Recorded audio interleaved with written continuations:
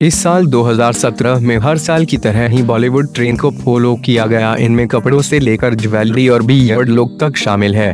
देखिए इन छह चीज़ों को जिनके बारे में हम बात कर रहे हैं। इस साल सबसे ज़्यादा प्लम कलर की लिपस्टिक ही ट्रेंड में रही।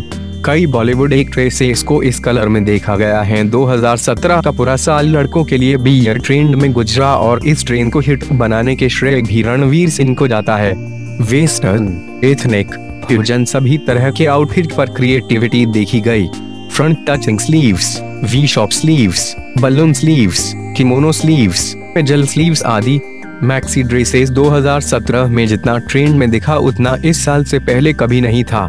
ज्वेलरी में सबसे हिट रही चाँद वाली 2017 में कई गर्ल्स को चाँद वाली में देखा गया। 2017 में लोअर्स की बात की जाए तो सभी ड्रेसेस और स्कर्ट्स के सूट पहना गया। Suit shirt T shirt sari सभी को स्कर्ट्स के साथ कैरी किया गया।